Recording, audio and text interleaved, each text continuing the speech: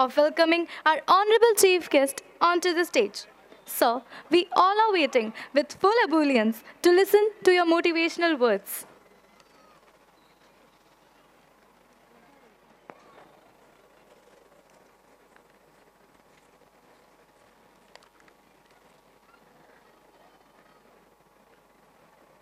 नमस्कार आज के इस भव्य समारोह में मैं आपके chairman Shri V C Surana ji, vice chairman Shri Rajiv Jain, chairman CPC Shri Kamal Kothari, school principal mister Dua और distinguished guest justice Panachand Jain ji, professor Batra RC Jain साहब, जो हमारे सीनियर भी रहे हैं। उन सब का स्कूल की फैकल्टी का पेरेंट्स का बच्चों का और आप सबका अपनी ओर से स्वागत करता हूँ, अभिनंदन करता हूँ। To break the monotony I would prefer to speak in Hindi बहुत देर से थोड़ा मोनोटोनस लग रहा था वैसे तो इस कार्यक्रम में अब कुछ भी और ज्ञान देने की ज़रूरत मुझे लग नहीं रही है। मैं ख़ास तौर से बच्चों से बात कर रहा हूँ अभी। मुझे अपने स्कूल के दिन याद आ गए। जब भी कोई कार्यक्रम होता था और उसमें कोई चीफ गेस्ट आते थे तो मन में यही आता था, हो सकता है हम शैतान बच्चे हों, कि कब ये चीफ गेस्ट अपना भाषण ख़त्म करेंगे और कब जाएँगे और कब हम कल्चरल इवनिंग देखेंगे।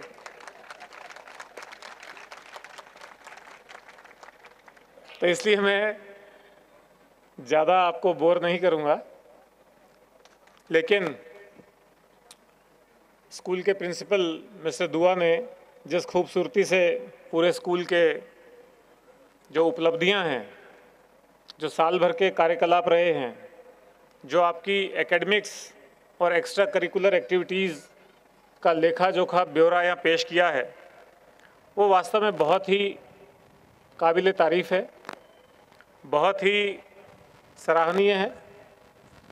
मैंने देखा न केवल एकेडमिक्स में, बल्कि चाहे वो एमयूएन हो, चाहे वो ओलंपियाड हो, चाहे वो नेशनल लेवल के गेम्स हों, चाहे वो ड्रामा म्यूज़िक डांस किसी तरह की एक्टिविटी हो, आप नाम लीजिए और वो सब एक्टिविटी यहाँ के बच्चे उसमें पार्टिसिपेट करते हुए और उसमें एक्सीलेंस दिखाते हुए नज़र आए। बहुत ही अच्छी बात है। स्कूल मैनेजमेंट कि स्कूल के डे टू डे फंक्शनिंग में जो इन्वॉल्वमेंट मुझे यहाँ दिखाई पड़ी सुराना साहब से बात करने के बाद, वो भी काबिल तारीफ़ है। क्योंकि गाइडिंग फोर्स तो मैनेजमेंट ही है और उनकी इस एबल गाइडेंस में स्कूल के प्रिंसिपल और स्कूल के सारी फैकल्टी सारे टीचर्स मैं समझता हूँ, बहुत अच्छा काम कर रहे हैं।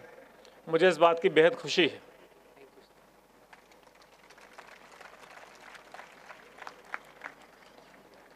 एक चीज़ मैं प्रिंसिपल साहब को भी और मैनेजमेंट को भी कहना चाहूँगा, इतना अच्छा कार्यक्रम है आज यहाँ। लेकिन जिन सबको आज यहाँ होना चाहिए था, उनमें से काफ़ी लोग यहाँ नहीं हैं। मुझे बताया गया कि करीब 1600 से ज़्यादा बच्चे इस स्कूल में हैं। लेकिन प्रेजेंस उस हिसाब से नहीं है। कोशिश हम ये करें, ये हमारा अपना स्कूल का इन हाउस कार्यक्रम है। इसमें ज़्यादा से ज़्यादा बच्चे भाग ले सकें। उनके लिए कुछ काइंड ऑफ़ कंपल्शन होना चाहिए। आज जिन बच्चों ने यहाँ पुरस्कार लिए हैं अवार्ड्स लिए हैं, वो तो सारा यहाँ जो ग्रुप बैठा है, वो सारा उन्हीं बच्चों का है। लेकिन उनको देख करके जिनको मोटिवेट होना चाहिए था, उनमें से ज़्यादातर लोग आज यहाँ नहीं हैं। तो उनका मोटिवेशन प्रॉपरली हो, वो भी देखें, कैसे यहाँ आकर के अवार्ड मिलता है, कैसे तालियाँ बजती हैं, कैसे वो भी ये सब अचीव कर सकते हैं तो ज़्यादा अच्छा हो। तो मैं आपसे एक सुझाव दूँगा, एक सजेशन है मेरा कि आज के कार्यक्रम की कोई शॉर्ट फ़िल्म बना करके वेरी क्रिस्प फ़िल्म और उसको आप अपने स्कूल में सब क्लासेस को, सब बच्चों को अगर आप दिखाएँगे तो उनको शायद अच्छा लगेगा और एक मोटिवेशन और इनक्रेजमेंट उनको मिलेगा उससे। अच्छा। हाँ गुड फेस फेसबुक और यूट्यूब और ये व्हाट्सएप ये बहुत अच्छे साधन हैं। और स्कूल मैनेजमेंट और टीचर्स और फैकल्टी की मैं बात कर ही रहा था यहाँ। अब मैं बच्चों से दो तीन बातें ही कहना चाहता हूँ सिर्फ़। बहुत भाषण की तरह नहीं बहुत उपदेश की तरह नहीं और कोई बहुत सीख देने की तरह नहीं। लेकिन यही वो उम्र है जब आपका पूरा जीवन, आगे आने वाला जीवन कैसा होने वाला है, ये निर्धारित हो जाता है। इसलिए आप इस वक्त की कीमत समझिए। ये वक्त अगर निकल गया बच्चों तो ये वक्त वापस नहीं आएगा। बहुत सारी चीज़ों में आज हम इस स्टेज पे पहुँच के भी अब रिग्रेट करते हैं कि अपने स्कूल टाइम में अगर हमने ऐसा किया होता तो शायद कुछ और परिस्थितियाँ या कुछ और अचीवमेंट्स या कुछ और उपलब्धियाँ अलग तरह से होती। तो ये बहुत प्राइम टाइम है। आपको अपना रोल डिफाइन करना पड़ेगा कि आपका रोल क्या है। यहाँ आप एज स्टूडेंट आते हैं।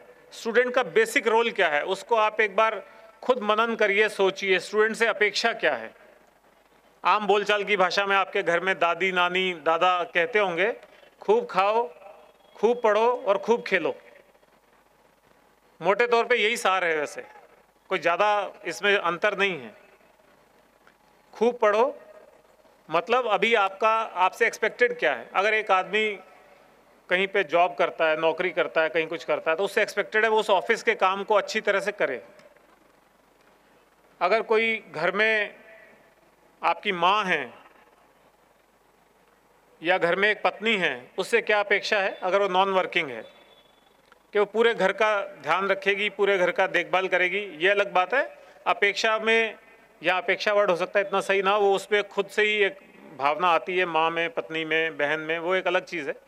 लेकिन उनसे अपेक्षा है कि वो अच्छे से उस घर को बना बना के रखे। इसीलिए आजकल आप सुनते हैं कि आपकी वाइफ या मदर क्या करते हैं तो पहले आप कहते थे हाउस वाइफ है, आजकल कहते हैं हाउस मेकर है हाउस मैनेजर है, ऐसे कई टर्म्स आ गए हैं तो सही भी है अपनी जगह। तो उनसे अपेक्षा है वो उसको अच्छे से रखें। पिता से क्या अपेक्षा है? वो घर में बच्चों को अच्छा संस्कार दे, बच्चों के लालन पालन के लिए, परिवार को चलाने के लिए, घर में सारी व्यवस्थाएँ सुनिश्चित करे। तो बच्चों से क्या अपेक्षा है? स्टूडेंट से क्या अपेक्षा है? कि उनको जिस काम के लिए स्कूल में भेजा गया है, पढ़ाई करने के लिए भेजा गया है तो वो अपनी अच्छे से पढ़ाई करें, मन लगा के पढ़ाई करें।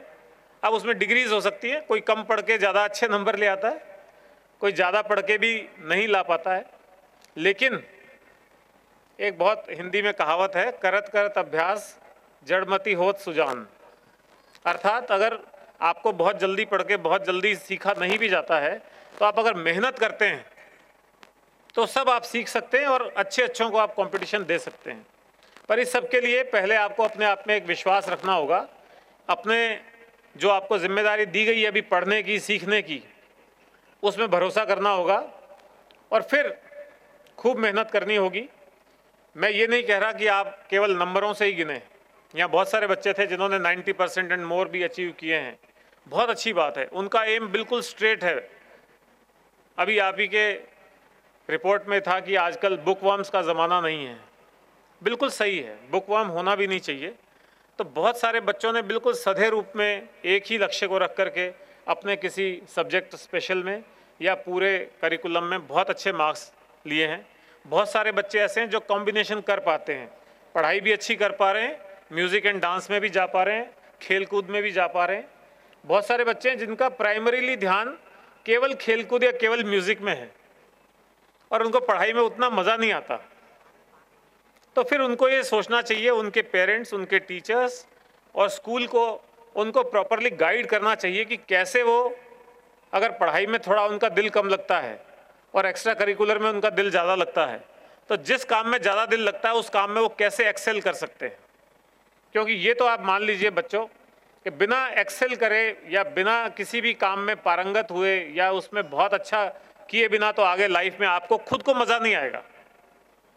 और लोग तो आपको भले ही कह सकते हैं कि ये सफल आदमी है, ये सफल लड़की है, ये असफल आदमी है, लेकिन सबसे ज़्यादा महत्वपूर्ण बात है अपने दिल में ये महसूस करना। कि मैं जो कर रहा हूँ, वो अपने मन मुताबिक कर रहा हूँ या नहीं कर रहा हूँ? अच्छे से कर रहा हूँ या नहीं कर रहा हूँ? मजबूरी में कर रहा हूँ या खुशी खुशी कर रहा हूँ? तो कोई भी काम जो भी हम करें, जो भी करियर अपन अपनाएँ, उसको अभी से तय करने की एक ज़रूरत है। ख़ास तौर से टेन प्लस जो क्लासेस हैं, उनमें ये टीचर्स का, पूरे मैनेजमेंट का, फैकल्टी का, पेरेंट्स का ये बहुत रोल बनता है। कि वो बच्चे को सही दिशा दें और ज़रूरी नहीं है कि वो इंजीनियर या डॉक्टर ही बने। आप लोगों ने बहुत फ़ेमस पिक्चर थ्री इडियट्स भी देखी होगी, तारे ज़मी पे भी देखी होगी। उसमें भी देखा होगा, आजकल डायमेंशंस बहुत हैं, आयाम बहुत हैं, रास्ते बहुत हैं, लेकिन एक ही बात मैं आपको कहना चाहता हूँ कि एक्सीलेंस का एफर्ट होना चाहिए किसी भी रास्ते में। आप म्यूज़िक में तो म्यूज़िक में एक्सेल करिए। कोशिश करिए ए आर रहमान के लेवल पे आप जा सकते हो, या और जो भी इस फ़ील्ड में नाम होंगे। एथलेटिक्स में है तो कोशिश करिए वो पीटी उषा या इस तरह के जो बड़े नाम हैं, उस तक हम कैसे जा सकते हैं। अपने आइकन्स अभी से आप डिसाइड कर लीजिए। पढ़ाई में जाना, अब वो एक पीछे की बात रहेगी कि केवल पढ़ाई आप सोचते थे। और पढ़ाई के बारे में भी एक चीज़ और मैं शेयर करना चाहूँगा। कुछ लंबा होता जा रहा है बात, लेकिन एक बात कहना चाहूँगा। ये जो कोचिंग का जो इशू आजकल है इसको कोशिश करके हम सबको थोड़ा सा चेक करना चाहिए। ख़ासतौर से जो बड़ी क्लासेस हैं इलेवन ट्वेल्थ मैं समझता हूँ जो बच्चा आज बायोलॉजी ले रहा है तो ब्रॉडली हमें मालूम है कि वो मेडिकल लाइन में जाएगा। जो बच्चा साइंस मैथ्स ले रहा है तो ब्रॉडली ऐसा मान सकते हैं कि वो इंजीनियरिंग में जाएगा। इसी तरह से जो बच्चा ह्यूमैनिटीज़ के सब्जेक्ट्स ले रहा है फाइन आर्ट्स ले रहा है तो उसका करियर डिफरेंट डायरेक्शन में है। तो स्कूल में पढ़ने के बाद उसको मेडिकल का पीईटी पीएमटी करने के लिए या इंजीनियरिंग का पीईटी या आईआईटी का वो जे आई आई जे डबल ई वो क्लियर करने के लिए उसको कोचिंग में जाना पड़ता है। स्कूल में वो कुछ पढ़ता है, स्कूल के टीचर होमवर्क कुछ देते हैं, कोचिंग क्लास में वो कुछ पढ़ता है, कोचिंग के टीचर्स जो हैं वो होमवर्क कुछ देते हैं और वो बच्चा पूरी तरह से उसमें पिस जाता है। इस चीज़ को अगर हम सोच सकें, अगर इस चीज़ को हम ये देख सकें कि हम अपने स्कूल में ही बच्चों को ऐसा एनवायरनमेंट दे पाएँ, उनको इतनी मेहनत करा पाएँ, उनको ऐसे अच्छे टीचर्स की हेल्प मिल पाए कि उनको कोचिंग में नहीं जाना पड़े तो मैं समझता हूँ ये स्कूल के लिए बहुत बड़ी उपलब्धि होगी। माँ बाप समझते हैं बच्चों का दर्द, कब सुबह, अल सुबह उठ करके बच्चा पहले कोचिंग में भागता है या पहले स्कूल में भागता है, जैसे टाइमिंग हो। और रात को सोने से पहले तक वो उसी हुआपो में लगा रहता है और उसके दो साल बहुत मुश्किल होते हैं। और पूरे देश में आईआईटी में सिर्फ़ पाँच हज़ार सीट बैठने वाले बच्चे दस लाख होते हैं। पाँच हज़ार सीट के लिए दस लाख बच्चे जब बैठते हैं तो आप ये मान लीजिए नौ लाख पचानवे हज़ार बच्चे आईआईटी में नहीं जाते हैं, वो दूसरे कॉलेजेस में जाते हैं। वो कॉलेज जयपुर का भी हो सकता है, वो कॉलेज पटना का भी हो सकता है, वो कॉलेज नोएडा का भी हो सकता है। उन कॉलेजेस में जाने के लिए, उसको कोचिंग में जाने की वैसे भी ज़रूरत नहीं थी। कोचिंग सेंटर्स का एक अपना इशू है, वो भी कुछ बच्चों को सेलेक्ट कर लेते हैं और उन्हीं बच्चों पे फोकस करते हैं, ताकि अगले साल फिर उनके इश्तहारों में उन बच्चों की फ़ोटोएँ छप सकें। और बाकी जो भीड़ है, वो बेचारी वापस उसी हालत में रह जाती है।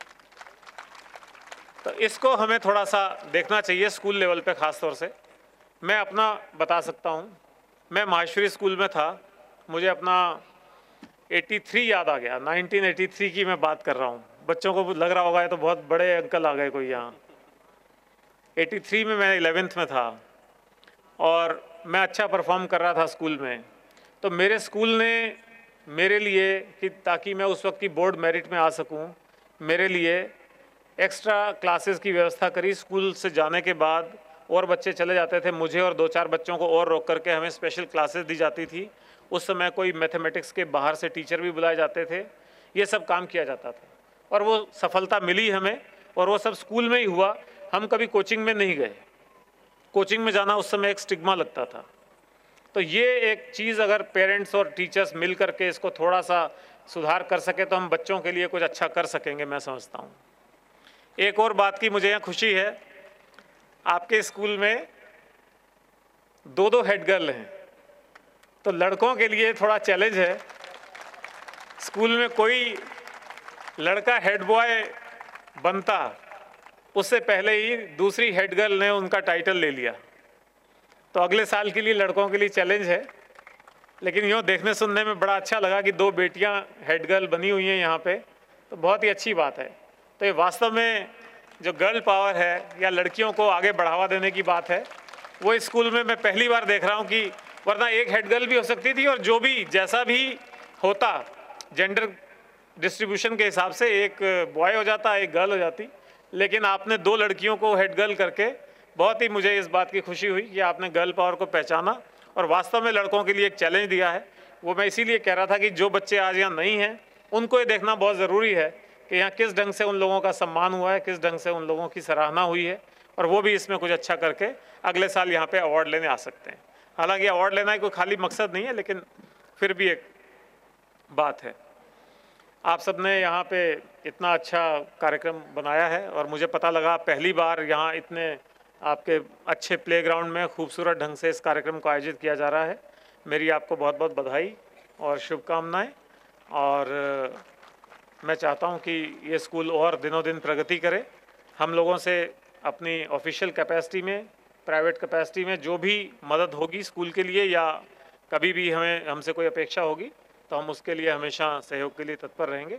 एक बार फिर मैं आप सबका स्कूल मैनेजमेंट का, स्कूल टीचर, स्टाफ, प्रिंसिपल साहब और आप सब जो आज आए हैं और मुझे इतना देर तक आपने सुना है, उन सबका धन्यवाद करता हूँ। Thank you very much thank you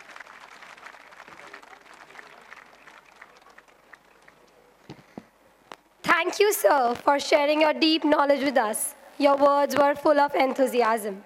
We request our respected chairman, sir, to, to honor our chief guest by presenting a memento as a token of respect